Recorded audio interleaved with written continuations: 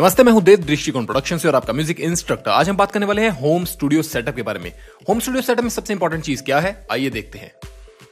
ये है table music table आपने ऐसा बहुत ऑलरेडी देखा होगा। ये जो साइड पे मैंने शेल्फ बनाई है, इसके ऊपर आएँगे मेरे मॉनिटर्स स्पीकर्स और ये जो जगह है, इसके ऊपर आ सकती है आपकी स्क्रीन और बीच में जो गैप है, उसके अंदर आपका ऑडियो इंटरफेस भी आ सकता है। मैं ये बात भी करूँगा कि ऑडियो इंटरफेस की ज़रूरत है भी या नहीं, लेकिन ये एक बेसिक सेटअप है। आप देख रहे हैं, आपके सामने है ये टेबल इस टेबल के ऊपर सिंपल जो आप देखते हैं स्टूडियो के अंदर, एक शेल्फ जिसके ऊपर स्पीकर हो और एक स्क्रीन के लिए शेल्फ। और ये बड़ी स्क्रीन के लिए अगर आपको ज़रूरत है तो मैंने यहाँ पर एक स्पेशल जगह छोड़ी है फ्रेम लगाकर। तो आइए देखते हैं आगे हम क्या करने वाले हैं।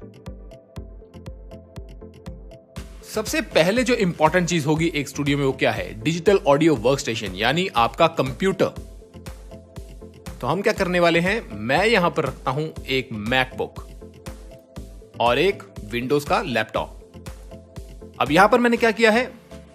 यहाँ मैं शो कर रहा हूँ विंडोज़ में एफएल स्टूडियो कर रखा है और जो मैक है, उसके अंदर मैंने लॉजिक प्रो खोल रखा है। आपको सिर्फ़ ये बताने के लिए कि कोई भी डिजिटल ऑडियो वर्क स्टेशन दूसरे से बेटर नहीं होता। सब एग्जैक्टली सेम क्वालिटी के होते हैं सेम क्षमता के होते हैं।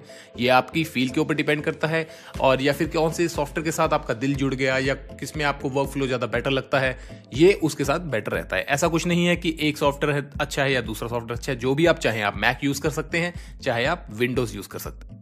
मैक के अंदर क्यूबेस एबल्टन लॉजिक एफएल सब चलता है। विंडोज़ के अंदर सिर्फ़ लॉजिक नहीं चलेगा, बाकी सारे सॉफ्टवेयर एग्जैक्टली सेम स्टाइल में चलते हैं। सो हम इस सेटअप में एग्ज़ाम्पल लेने वाले हैं मैक का, और सबसे इंपॉर्टेंट चीज़ हमें क्या चाहिए होगी?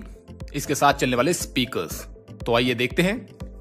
यहाँ पर जो एग्ज़ाम्पल मैं सबसे पहले ले रहा हूँ, वो है रॉकेट एट के आर के आठ इंची मॉनिटर्स हैं। बूमी है। इसके कॉम्पिटिशन में यामाहा एच एस एट भी चल रहा है। मुझे प्रोडक्शन में काफ़ी पसंद है और बहुत सारे स्टूडेंट्स को मैं रेकमेंड भी करता हूँ। तो आप भी ये मॉनिटर देख सकते हैं। आठ इंच का है, बहुत अच्छी साउंड है। इसके बाद जो हमारे पास दूसरी ऑप्शन है, वो है JBL LSR 305 पाँच इंची। इसके अलावा कोई भी चार इंची। आपके रूम के ऊपर डिपेंड करता है, आपका रूम कितना है, बड़ा है, छोटा है, क्या चीज़ है। उसके हिसाब से आप चार इंची मॉनिटर पाँच इंची मॉनिटर या आठ इंची मॉनिटर बड़े, छोटे, किसी भी तरह के आप यूज़ कर सकते हैं। स्पीकर हमें चाहिए क्यों? क्योंकि ये ट्रू साउंड देते हैं, एकदम फ्लैट रिस्पॉन्स होते हैं मास्टिंग के दौरान मैं बताऊँगा। अब हमें कनेक्ट करने अपने स्पीकर अपने डॉ के साथ। ऑडियो इंटरफेस हम यूज़ करेंगे। हमारे पास कुछ ऑप्शन हैं, जिसमें से मैं आपको दिखाने वाला हूँ। सबसे पहले है एम ऑडियो का एम ट्रैक छोटा सा है यूएसबी से चलता है, कोई एक्सटर्नल पावर की ज़रूरत नहीं है। ये देखिए, पास से M audio M track two in two out basic है हैंडी है। ग्यारह बारह हज़ार में आ जाता है। आपकी रिकॉर्डिंग की और मिडी इनपुट की लेटेंसी कम करता है। ये है मेरी बैलेंस केबल्स आप देख सकते हैं। इसके दो हिस्से हैं, एक हिस्सा जाएगा। यहाँ आप पीछे देखिए लेफ़्ट और राइट दो मॉनिटर्स कनेक्ट करने की यहाँ पर जगह है। आप क्या करेंगे लेफ़्ट वाले में? इसे बैलेंस्ड ये देखिए। ये डाल दिया। इसका दूसरा हिस्सा जो है, जो बैलेंस्ड का, वो जाएगा मेरे मॉनिटर में। अब मैं लगाऊँगा मॉनिटर में, मैं आपको पीछे करके दिखाता हूँ। और ये रहा, यहाँ लिखा है बैलेंस्ड जिनके पास रॉकेट है, वो पीछे देख सकते हैं, यहाँ पर बैलेंस्ड ही लिखा होगा। डाल दिया दैट्स इट इसके साथ ये कनेक्ट हो गया है सिंपल ये दूसरी बैलेंस केबल इसके साथ मैं कनेक्ट करूँगा अपना ऑडियो इंटरफेस का एक हिस्सा और दूसरा, दूसरे मॉनिटर में। एम ऑडियो है, बहुत पॉपुलर है M track two in two out अगर आपने सिर्फ़ दो स्पीकर इसका लगाने हैं, लेकिन अगर आप चाहते हैं मेरी तरह चार रेफरेंस लेना तो फिर आप प्रेफर कर सकते हैं ये दूसरे वाला। इसमें है फोर इन फोर आउट ये है टैस कैम का। आप साइज़ का डिफरेंस ही देखिए कितना ज़्यादा है। ये मैं पास से दिखाता हूँ, इसमें है चार माइक प्रीएम्स और अगर आप पीछे देखेंगे तो आप चार मॉनिटर्स कनेक्ट कर सकते हैं, वही बैलेंस केबल के साथ। इसे एक्सटर्नल पावर की ज़रूरत है। दो इसमें हेडफोन्स भी लगते हैं। तो बहुत ही सिंपल है, बढ़िया है इजी है। यूएसबी यहाँ पर कनेक्ट हो जाएगी। ये रही यूएसबी केबल इसके साथ हम कनेक्ट करेंगे।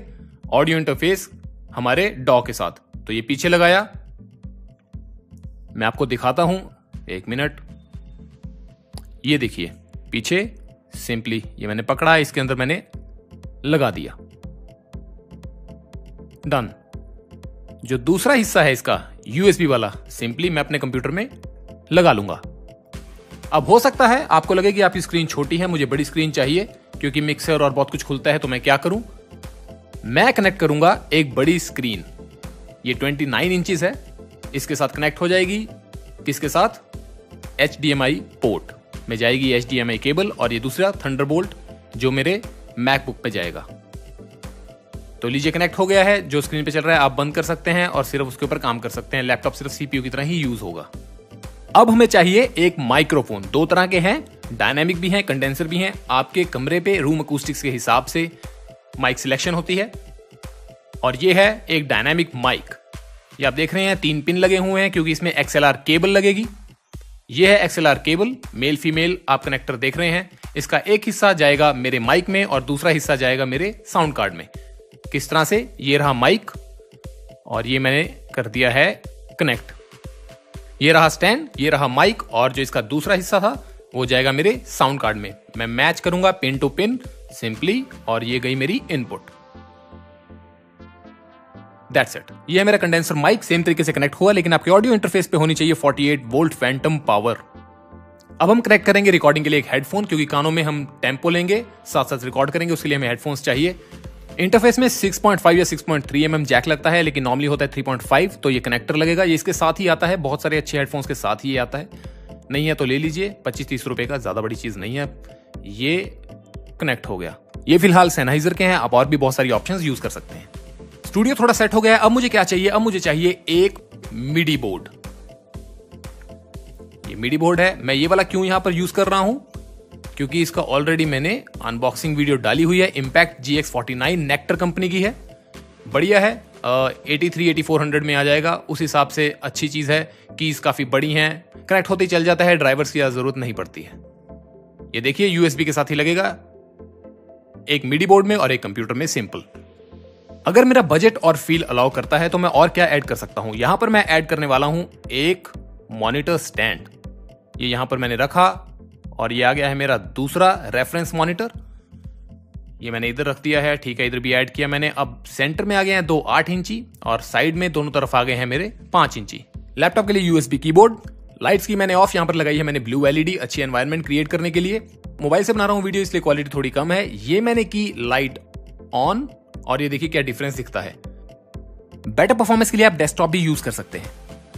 ये है मेरा हैंडी रिकॉर्डर इसको मैं यूज़ करता हूँ। ये है Zoom H two N next interviews में या फिर एनवायरमेंटल साउंड रिकॉर्ड करने में। ये मैं बहुत लोगों को इसलिए रेकमेंड करता हूँ, जिन लोगों के पास ऑडियो इंटरफेस या माइक खरीदने का बजट नहीं है, वो इस चीज़ को खरीद लीजिए। बहुत ही हाई क्वालिटी एमपी और वेव ये रिकॉर्ड करता है। अपनी आवाज़ रिकॉर्ड कीजिए। एसडी कार्ड इसमें डलता है। वेव या एमपी फॉर्मेट अपने डॉ में ले जाइए और प्रोडक्शन और मिक्सिंग कीजिए। सिंपल आपके प्रोजेक्ट्स और साउंड लाइब्रेरी के बैकअप के लिए आपके पास होनी चाहिए एक पोर्टेबल हार्ड डिस्क अगर वायरस आ जाए या गलती से प्रोजेक्ट डिलीट हो जाए तो बाद में वो लोग पछताते हैं जिन्होंने बैकअप नहीं लिया होता। इस खाली स्पेस में आप काम का सामान रख सकते हैं, दूसरा लैपटॉप रख सकते हैं। और सजावट के लिए अपने टेबल पे शोपीस भी रख सकते हैं। नाइस तो ये हो गया आपका होम स्टूडियो सेटअप तैयार। आप देख रहे हैं पीछे बड़ी स्क्रीन लगाना चाहे तो लगा सकते हैं। थोड़ी सजावट वगैरह ज़रूरी है।